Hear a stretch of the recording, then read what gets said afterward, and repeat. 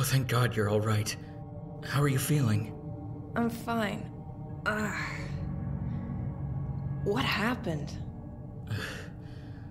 There was an outbreak. What? You don't want them to hear you that loud. Listen, that monster we saw is Mason. You've got to be kidding. Just listen. He attacks all the scientists, and we try to get out of there while the guards are helping. But there are so many of these freaks, they didn't manage to survive.